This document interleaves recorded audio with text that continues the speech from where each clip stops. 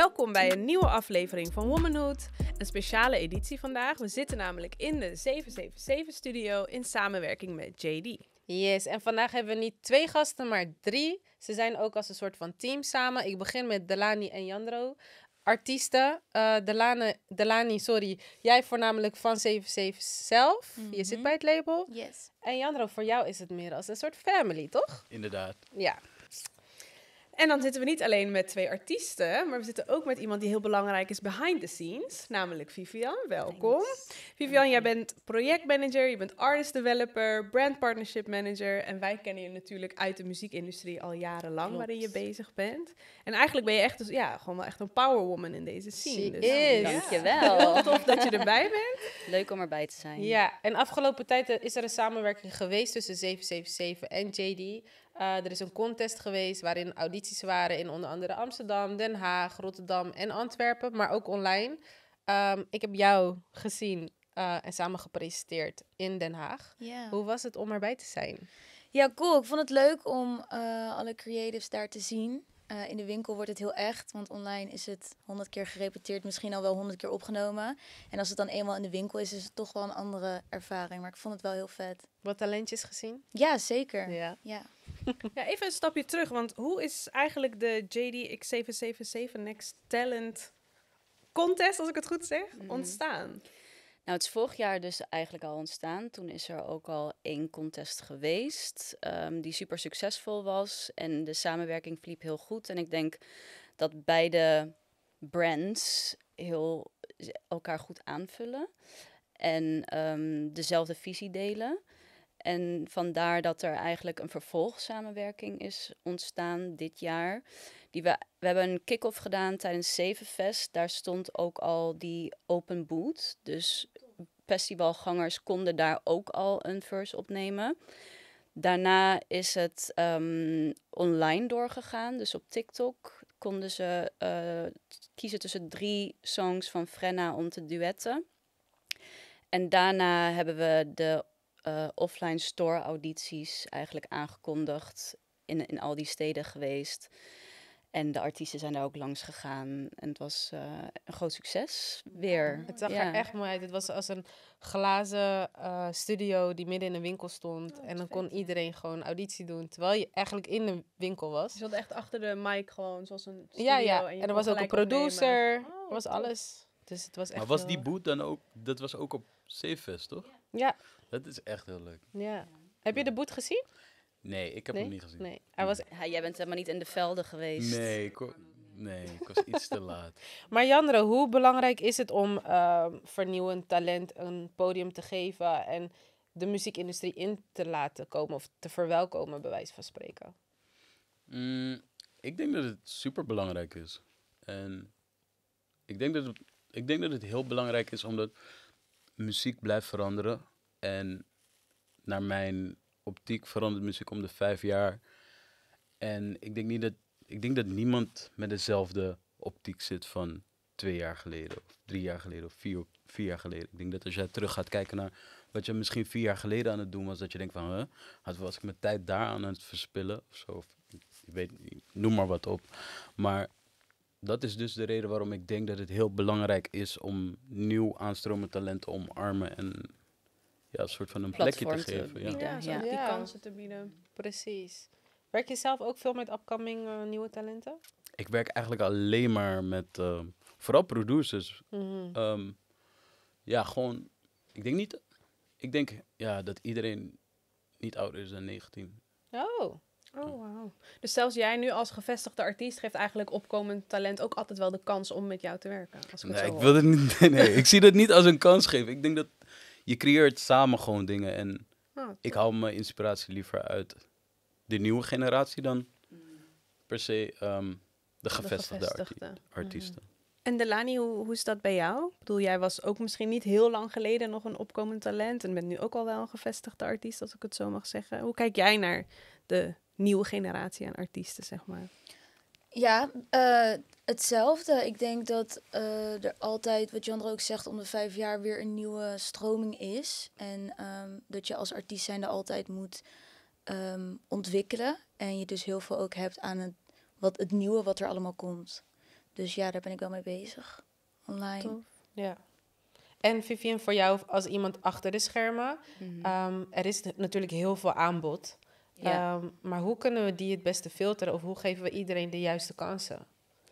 Ja, ik denk dat, een, dat dit bijvoorbeeld, dit project, een unieke kans is voor heel veel talent om gezien te worden. Alleen al het simpele voorbeeld van dat, ehm, kijk, je hebt, ieder label heeft een demo-inbox, zeg maar. Maar daar wordt ehm, misschien minder aandacht aan besteed dan bijvoorbeeld nu. Frenna, die heeft al die TikToks gezien. Die heeft Mhm. alle offline audities gezien. En daar een selectie uitgemaakt. Oké. Dus ik denk dat dat een super slimme manier is om dat zeg maar een beetje uit te filteren. En een hele grote kans is voor opkomend talent om zo even in de schijnwerpers gezet te worden. En ook om te voelen hoe het is om aan zoiets mee te doen. Laten we even teruggaan in de tijd. Hè? Hoe lang zit je nu in de industrie? Eh, ik denk acht of negen jaar. Ja, Ja. acht, negen jaar terug. Er was geen TikTok, er was Ja. echt vrij weinig. Toen was er zelfs, zeg maar, ik werkte toen voor Yellowclaw. Zij begonnen toen net hun label Baron Family. Toen was Spotify nog niet eens een ding. Snap je? Ja. Ja. Toen was alles op Soundcloud. Daar, zeg maar, Soundcloud was de main platform waar iedereen zich op focuste. Ja, ja. dus basically in jouw tijd scouten, ja, in onze tijd Ja, scouten we ook- meer gewoon Ja, via, via, de- Soundcloud ja, bijvoorbeeld. Of dan onderling bij shows. precies, voorprogramma's. Ja, voorprogramma's. dat soort Nog steeds dingetjes. is dat wel echt. dat Ja, voorprogramma's vaak de kans krijgen. Tenminste, Ja. artiesten in voorprogramma's, Klopt. ook van grote internationale acts Mhm. die dan hier En wat wij bijvoorbeeld ook bij SFB-shows hebben gedaan, is ehm, ook jonge mensen die afgelopen jaar een super grote hit hebben gehad, of die echt even een soort van moment hebben gehad, ook dat platform te geven van kom je nummer bij ons doen. Voor, weet ik veel, 10.000 man of meer, weet je wel. Dus dat is ook wel echt een soort kernwaarde in onze hele business eigenlijk. ja, echt nice. Want jij zei, jij hebt voornamelijk audities gedaan ook vroeger. Is dat voor jou ook al anders geweest als je terugkijkt naar die aantal jaar geleden? Ja. Want het groeit heel snel. Ja, het groeit heel snel. Ja, bij mij begon het vooral met audities doen, omdat ook TikTok en Instagram, het was allemaal nog niet Nog zo. niet. nee. En eh, toen was tv nog wel levende, zeg maar. voor artiesten dan. Ehm, dus daar heb ik wel heel veel uit geleerd. Ehm, alleen ja, alles is nu heel erg veranderd. Dus ja, om nu auditie te doen op tv, hoeveel haal je eruit? Ga je op TikTok 100 video's posten of ga je... Ja, het verschilt. En ja, Janro, voor jou was dat natuurlijk heel anders in die tijd. Ik weet nog, je had natuurlijk New Wave. Kan je even teruggaan in die tijd en vertellen hoe, je, het- hoe het toen was voor jou, die hele ervaring? Het is hoe best het wel voor jou moeilijk, want ik is heb... begonnen, want ik denk dat het al voor New Wave is begonnen eigenlijk. Ja, het was voor een New Wave begonnen, maar als je de, vra de vraag luidde hoe New Wave was, Ja. denk ik. Hoe jouw ervaring Hoe je in die ervaring, tijd ja, was jij als nieuw upcoming talent. ehm, een podium te creëren voor jezelf. In vergelijking met nu. Als ik er nu op terugkijk, het- ik bedoel, in het moment was ik er niet bij, stond ik er niet bij stil of zo, maar als ik er nu op terugkijk en dan bijvoorbeeld praat met de nieuw gen, dan merk ik wel dat dat soort van. mm, is best wel moeilijk, want voor hun, hoe hun er naar kijken is denk ik belangrijker hoe ik er naar kijk, denk ik. Omdat hun zien, hun hebben dat gewoon soort, want voorheen had je gewoon iedereen dat, voor New Wave, dat iedereen een eigen kampje had. En iedereen was gewoon gefocust op zichzelf. Maar nou, New Wave heeft het soort van iets. Samen laten komen. Ja, precies. En dat, dat, het is gewoon oké. Ik, ik denk dat New Wave voornamelijk voor de nieuwe generatie heeft laten zien van... Yo, have fun with it gewoon. Mhm. Dat is het gewoon, denk ik. En je hoeft niet... En ook hoeveel mogelijkheden Ja, er precies. Kan voort brengen. kunnen vloeien. Want hoe was het op het moment dat je werd benaderd daarvoor? Hoe dacht jij toen? Eh, Weet je dat nog? Voor nee, jou zo lang geleden? Blackout. ja. nee. nee, ik... nou, gewoon, Maar volgens mij was iedereen wel excited om daar te zijn. Of nou ja, bepaalde mensen wel. Ja, het, het was gewoon het was een le- leuke nieuwe ervaring, man. ja. Dat, ik denk dat het vooral dat was. En het gaf jullie gewoon mogelijkheden. Maar waren jullie bewust van die mogelijkheden? Waren jullie bewust van wat Over er wat ging voor gebeuren? mogelijkheden heb je het dan? Dat, dat dat album werd gecreëerd, dat er zo'n grote eh, aandachtsmoment was voor New Wave. En Ja. dat het zoveel heeft bereikt Ik denk dat niemand daar naartoe is gegaan met dat in hun achterhoofd. Niemand had het besef Nee. of... Ik denk dat Top Notch de enige was die dat wist. Hmm. Oké, interessant. Had je toen in die tijd wel, want ik denk ook Vivian, dat is ook wel echt een vraag richting jou. Hoe belangrijk is zeg maar mentorschap eigenlijk voor jonge artiesten? Had jij destijds een mentor of iemand die je erbij hielp of je advies gaf? Nee, man. Nee, nee, nee. Daarom vind ik het ook zo belangrijk dat ik, tenminste voor mezelf, dat het, ik vind het heel belangrijk om betrokken te blijven bij de new gen. En niet, ehm, ja, zeg maar. Ik denk dat je wel ook als een mentor gezien kan worden, maar niet zo formeel. Nee. Snap je? Ja, dat, Kijk, de jongens waar jij nu mee werkt, ja. die in hun hoofd ben jij misschien wel een beetje een mentor ook. Figuur voor hun. Ja. Mentor is ook een breed begrip. Ja, Ik vind het zo, ik vind, ik vind soorten. sowieso titels op dingen zetten vind ik zo kut, maar, sorry. Mag Maar, dat? ja, ja. Mag ik Ja, schelden? Je mag gewoon je schelden. Het is wel. Alright. Nee, ja, Oké, dan komen we misschien nu is los. mentor, misschien is mentor inderdaad wel een heel, maar wel vaderfiguur is dan misschien nog erger, maar Wauw. Nee, maar Nee, I'm soort not nee. even leiding. 30, bro. Relax. nee, nee, nee, Nee. dat is een grapje. Ze Maar ik kunnen van je leren. ja, je hebt natuurlijk Dat, wel maar wat dat is ervaring. precies wat ik zeg. Ja. Je kan gewoon van iedereen leren. En als je gewoon op je...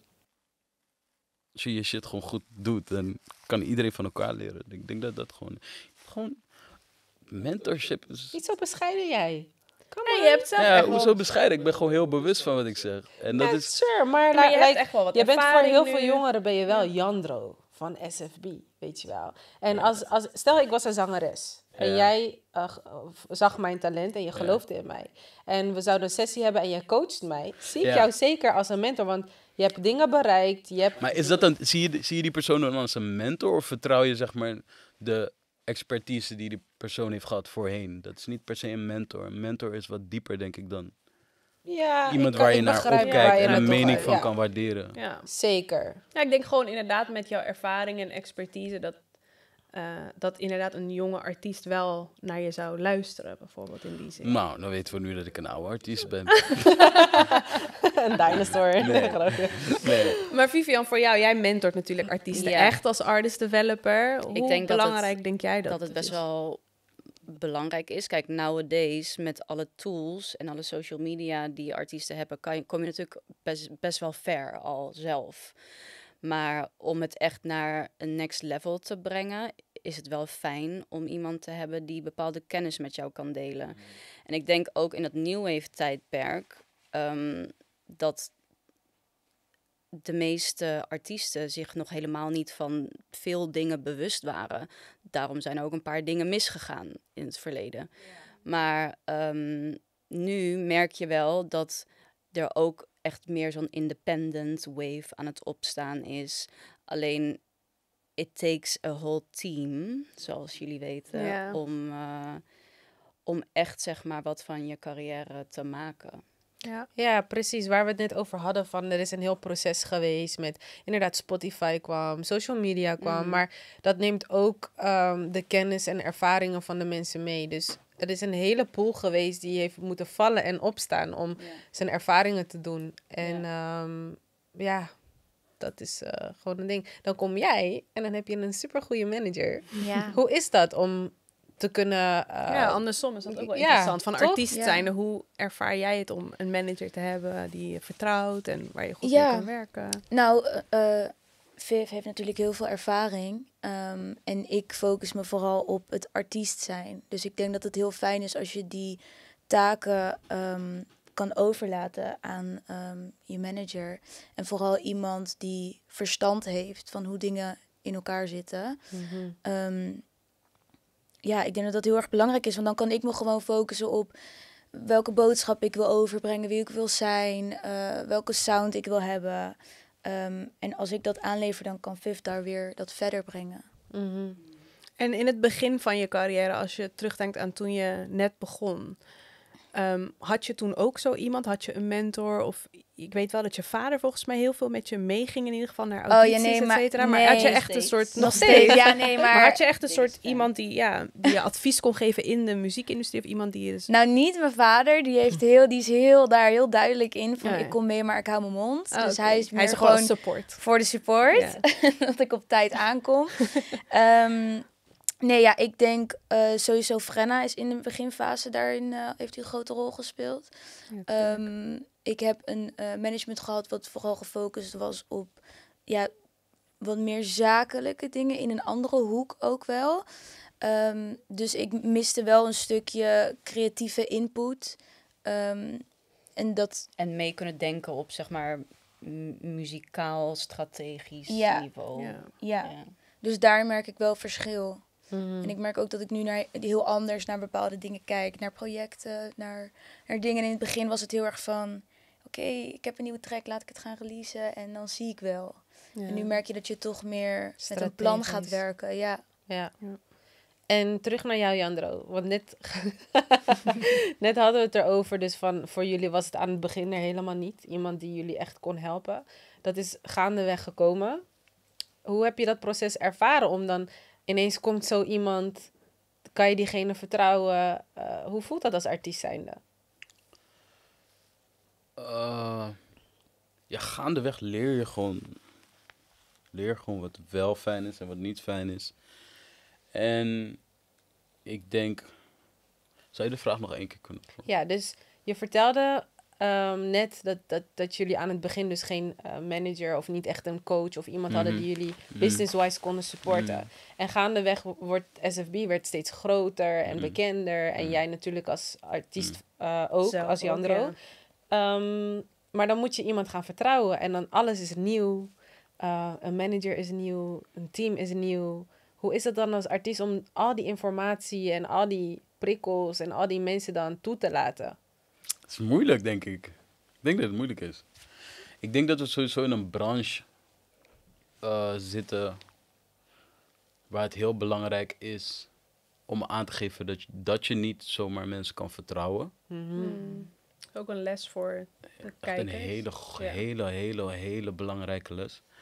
En ik denk dat je, ik denk, ja, gewoon iedereen is anders, toch? Dus je moet gewoon kijken naar wat voor jou werkt en wat voor Ja. jou goed voelt. En daarop moet je gewoon, Vallen, opstaan. ja, precies dat. ja. En ik denk bij jullie was er ook nooit echt, zeg maar, de traditionele manager. Ja, het was gewoon altijd, Het is zeg altijd maar. iets meer een teamverband. Ja. En dat is met Frenna eigenlijk ook zo. Ja. Ehm, Dat is gewoon die altijd heeft, iemand zeg- uit de vriendengroep die we die, dan die... iets deed, ja. Maar, ja, daardoor leer je ook denk ik heel Ja. veel. Want dan weet je van, oh, dit wordt eigenlijk zo en diegene doet dat op een andere manier. En, Ja. Mm. Maar het is ook, wa- wat ik met Frenna bedoelde, is meer van... Hij heeft gewoon een heel team van allerlei verschillende managers Mhm. eigenlijk. Die Mhm. overal ergens goed in zijn. En Ja.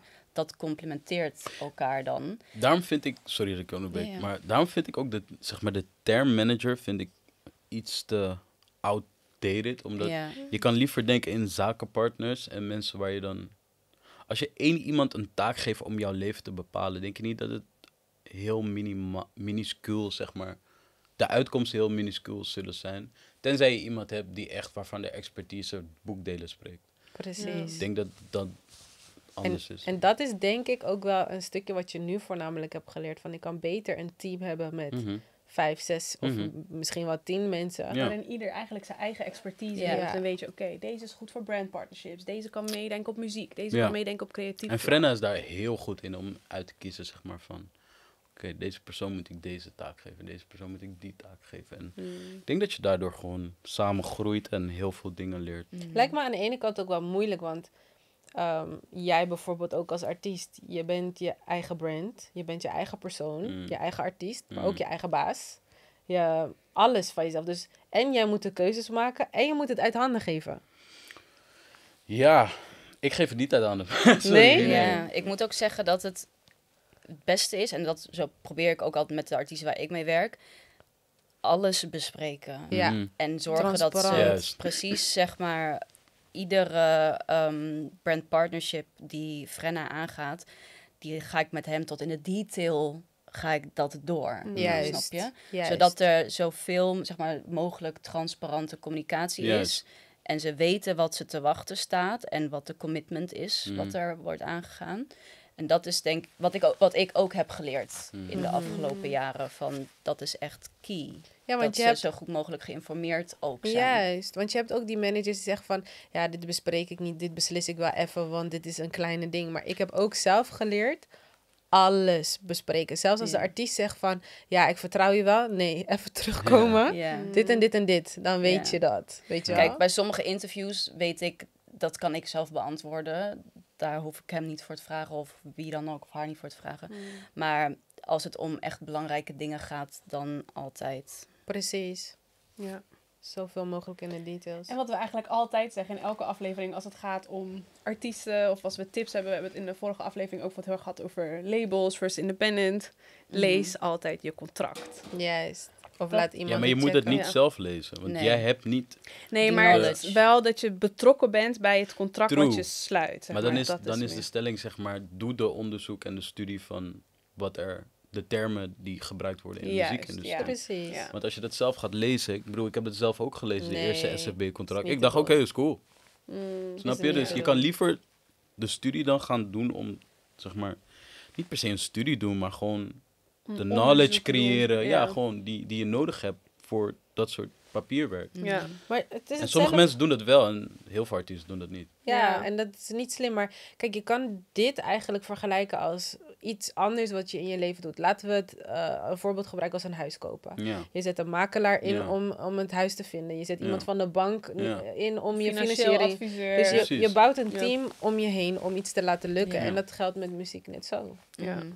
Dus, Ik eh, denk wel voor beginnend artiest is dat denk ik echt heel moeilijk. Van oké, wie kies ik dan uit? Wie vertrouw ik dan? Ik denk dat je daar in Ja. het begin niet bezig mee moet zijn.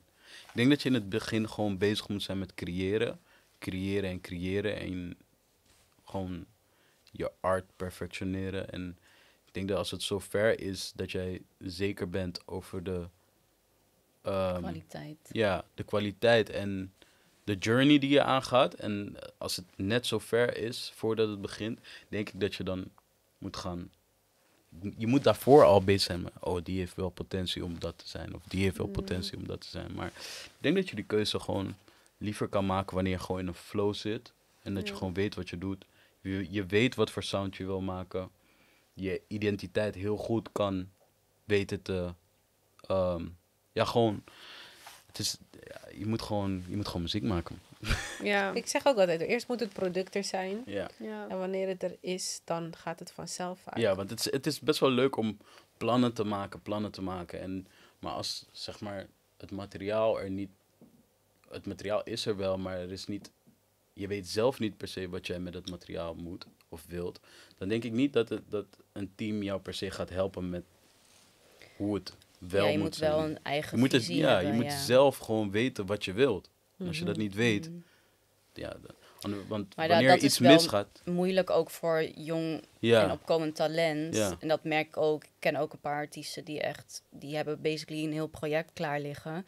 Maar niet de resources om dat zo uit te kunnen brengen... zoals ze dat zelf in hun hoofd hebben. precies. Mhm. En dat, dan heb je dus weer zo'n initiatief als dit... Ja. wat daar wel echt een goede steen aan kan bijdragen, zeg Ja. maar. Precies, en als je bezig bent inderdaad met muziek maken, als je echt bezig bent met muziek maken en je, je sound aan het creëren bent, denk ik niet dat je de capaciteit in je hoofd nog overhoudt om te gaan denken over het zakelijke per se. Gewoon van, yo, hoe moet, dat, hoe moet mijn team eruit zien? Ik denk dat als je opkoming bent, dat je gewoon muziek moet maken, man. En ik kan me dus wel voorstellen als je upcoming bent, en dat zie je nu natuurlijk steeds meer, ook door het gebruik van TikTok. Nou, Delani, jij bent zelf ook bijvoorbeeld heel actief op TikTok. Dat je dan in één keer artiesten hebt die in één keer pap in zijn, of in één keer gaat. heel hard gaan. En Ja. in één keer, niemand had ooit van ze gehoord, en in één keer staan ze nummer één in de charts. Hoe, ja, ik, ik kan me Ik voorstellen dat zo'n het heel moeilijk is om dat vast te houden. Zo. Want Ja. ik, nu, tot nu toe, iedereen die dan één zo'n TikTok-hit heeft gehad, al het andere wat daarna is gekomen, Ja. Ja. Er is, er is De- gewoon zoveel om te dat gaat te consumeren. dat- snel of zo. jij, ja. jij bent, je kan liever ervoor zorgen dat je gewoon een vaste fanbase bouwt, Stap voor stap. Ja. stap voor stap, waarin jouw identiteit ook gewoon, gewoon dat jouw fans jouw identiteit daar gewoon heel erg mee rocken. En het is makkelijk om een hit te maken. Een hit kan iedereen maken, letterlijk iedereen. Ja, Maar een sound creëren, is Mhm. different. Dat is different. Het is je eigen image. Je- Ook als je terugkijkt bijvoorbeeld naar... laten we zeggen, een Jonna Fraser of zo. Elke hit die hij stap voor stap heeft gehad, heeft zijn eigen identiteit. Ja, en man. je ziet ook de groei in songs. En En dat willen mensen juist zien. Mensen willen die je? groei zien. Mensen willen, ja, bro, the next hit is one click away, letterlijk. ja, daardoor zie je ook bijvoorbeeld, eh, die mensen hebben zo'n grote doelgroep gebouwd op een gegeven moment, waardoor die AFAS'en nu uitverkopen. Onder Ja. andere SFB ook, weet je. Je- Jullie hebben zoveel hitjes gehad. Elke keer iemand, mensen erbij gehaald, bijgehaald. Nou bij ja, elke hit onder weer. andere SFB. We hebben het wel twee dagen achter elkaar gedaan. Hè? Snap je? En we hebben het wel binnen, hoeveel minuten was het? Tien. Dat is minuten allemaal? En we hebben Ziggo Dome gedaan. I Ja. love ja, it. ook nog. Ja, het is insane. Maar dat is gewoon wanneer je als artiest een langere adem hebt en niet gewoon ineens. eh, Je moet gewoon denken in Long Jeopardy. En alles wat Mm. je, letterlijk in alles wat je doet, elke keuze die je maakt, denk in Long Jeopardy. Precies. Precies. Ik kan me dus wel voorstellen als we het dan hebben weer over mentorschap en hoe je eigenlijk soort van dit soort jonge artiesten kan helpen. Wat zouden jullie dan als tip geven aan zoeken jonge artiesten die dan, nou één tip is dus denk in, in Long Jeopardy, maar wat als ze dan in één keer zo groeien en iedereen trekt aan ze van alle kanten. Brand partnerships willen dit, labels willen dat, managers willen dat. Hoe blijf Strooien je dan met nog? geld. Ja, strooien inderdaad met zakken geld. Ehm, hoe blijf je dan nog ja, het soort van het pad voor je zien? Misschien is dat wel voor jou als artist developer een goede vraag. Ehm, dat hangt natuurlijk ook af van de persoon. Ja. Ehm, Wat diegene en, wil. Ja, en Ja. van, van de visie die die persoon op dat moment wel of niet heeft. Maar ik denk dat dicht bij jezelf blijven super belangrijk is. Mhm. Wat jij ook al eerder hebt gezegd. En, ehm, en dan op zo'n moment, als het zo hard gaat, wel ook inderdaad een team om je heen vormen die met jou daardoorheen gaat. Mhm. En met jou die Mm. stappen kan nemen. De juiste stappen ook ja, in die de zin. juiste Ja. stappen. Ja. Dus Delani, voor jou, je bent heel hard aan het timmeren aan de weg. En je bent Mhm. releases aan het doen. En elke release gaat net weer beter dan de eh, vorige. En ehm, ja, wat we, waar we het net over hebben, alles stap voor stap. En dan zie je ineens op TikTok deze hit komen en die hit. En Ja. het gaat je voorbij. Hoe voelt dat voor jou als artiest? Eh, pff, ja, ik zit heel erg in mijn eigen lane. Oké. Ik denk niet, ik denk niet dat als iemand op TikTok een hit heeft, dat ik me dan kut moet voelen of zo.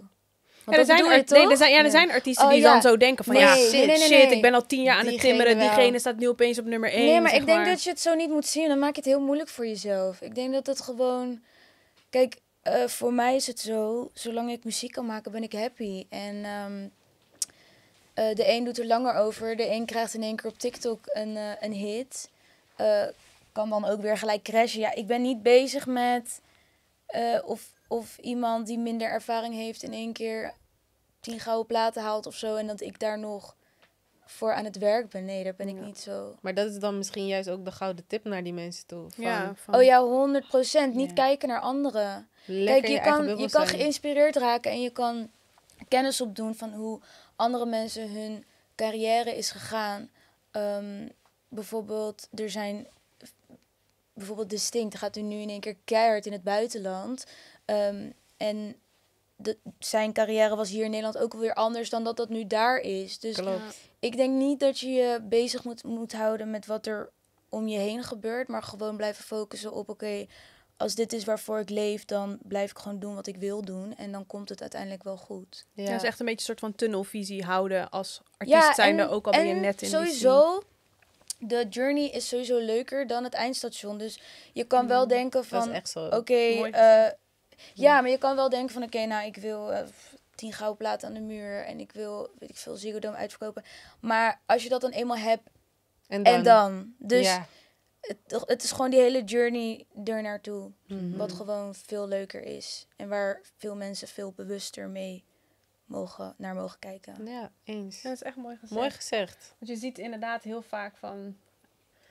Ja, het is misschien ook wel een soort van snelle geld. Of iets waarvan je denkt van... Oh ja, als ik dit nu bereik en als ik nu deze TikTok-video eh, score, dan ben We leven in een fast world. Ja, het is Dus, een fast eh, world. Het is En dan ook helemaal niet met bij te met houden TikTok. als je het... Want dan wil je elke keer weer Meer. meer. dan dat je al behaald hebt. En dan op een gegeven moment kijk je terug en dan denk je... Shit, what else? Maar ik denk, persoonlijk denk ik, zeg maar, want ik luister een beetje mee van wat jullie net allemaal bespreken.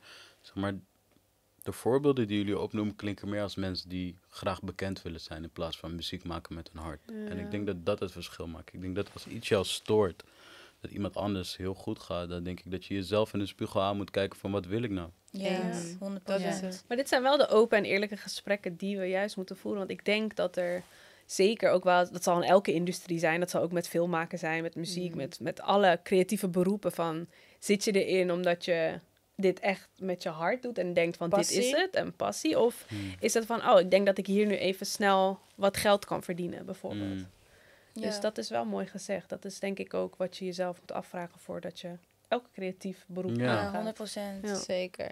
Jandro, voor jou. ehm, jullie hebben natuurlijk die Next Talent eh, contest nu gedaan eh, vanuit 777. Maar wat kunnen we nog meer doen om eh, jong talent een kans te geven? Zoals bijvoorbeeld jij doet als artiest. Je werkt heel graag met ze. Ja, ik wat denk dat kunnen het we daar nog meer? begint, man. Ja. Gewoon daar beginnen, man.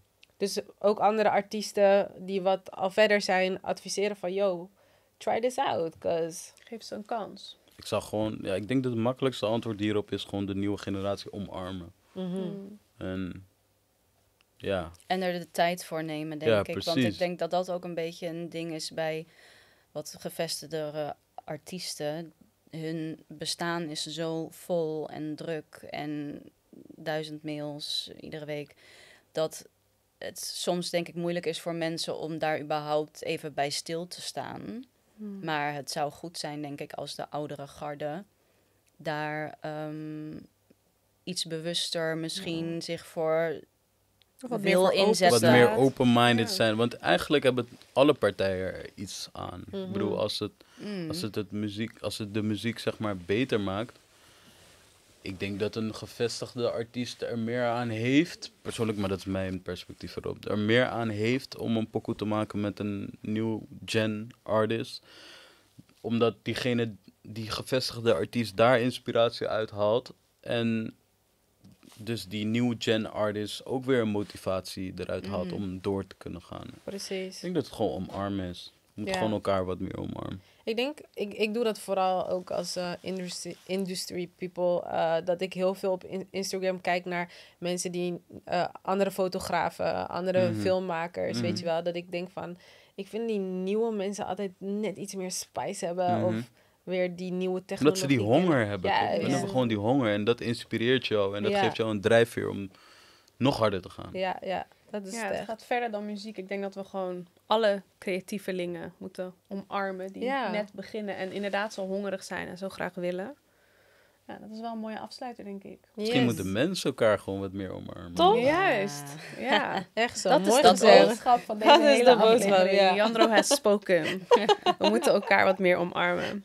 Nou, om het nog positiever af te sluiten. Wij ehm, sluiten eigenlijk altijd de podcast af met eh, de Gratitude Journal. Dus wij staan altijd heel erg stil bij waar we dankbaar voor zijn. Yes. Dus, nou, Vivian, ik begin bij jou gelijk links. En moeten we allemaal nu een lijstje gaan opnoemen? Of? Gewoon drie dingen waar je Drie dankbaar voor dingen. bent. Drie Ja. dingen waar je dankbaar voor bent. Nou, Nou, ik ben heel dankbaar voor mijn familie. Mm. Waar ik heel close mee ben en hecht mee ben. Die altijd voor me klaarstaan. Ik ben heel dankbaar voor de manier waarop ik nu kan werken. Ik heb nog nooit zoveel vrijheid gehad Mooi. om te kunnen doen Mm. wat ik echt wil doen.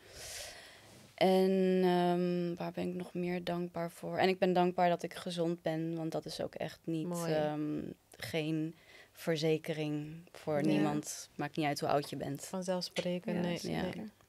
Delani, waar ben jij dankbaar voor? Ik ben op dit moment heel erg dankbaar voor mijn mentale en spirituele groei. Ik ben heel erg dankbaar voor de discipline die ik nu aan het ontwikkelen ben.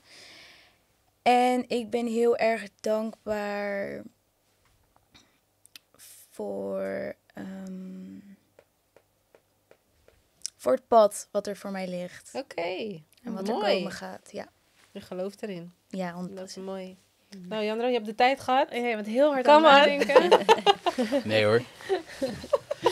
Mm, ik ben overal dankbaar voor. Alleen, Gewoon maar- even drie dingen die je kan opnoemen. ja, ik ben dankbaar dat ik ben wakker geworden. ik ben dankbaar dat... ehm, ik Ik ben letterlijk overal dankbaar. Ik ben dankbaar voor deze bank. Dank jullie wel dat jullie ons zo eh, goed hebben ontvangen. Ja, Ik ben je dankbaar. echt comfortable. Ja, ik Kan nog helemaal thuis hier bij. Ja, ik wacht tot de camera's uitgaan, dan ga ik liggen. Maar, eh, pff. Ik ben Nog eentje, kom dankbaar, ja, dankbaar voor familie. Ja, Oké, mooi. Dus, dus, Je, dus- je hebt ze al, drie. Ja, maar dat is toch, dat is toch niet Dat is- Nee, eerlijk je bent tegenover gewoon de heel rest. dan? dankbaar in general. Je bent Ik ben gewoon super, hoor. ja, ik ben gewoon, een dankbaar persoon. man. Wat goed. Ja. Ja. Heel mooi. Nice. Nou, dat was hem weer. Yes, thank you guys. Ja. Ik hoop eh, dat we wat upcoming artists hebben kunnen inspireren. Of mensen die heel erg geïnteresseerd zijn om in de industrie te werken. En Ja, ik ben heel erg benieuwd en naar de finale. Ja, zeker. Ook. Stay tuned. Vergeet niet te liken, delen, abonneren. Volg 777, of course. Volg JD en ons als Womanhood. En tot de volgende keer. Bye.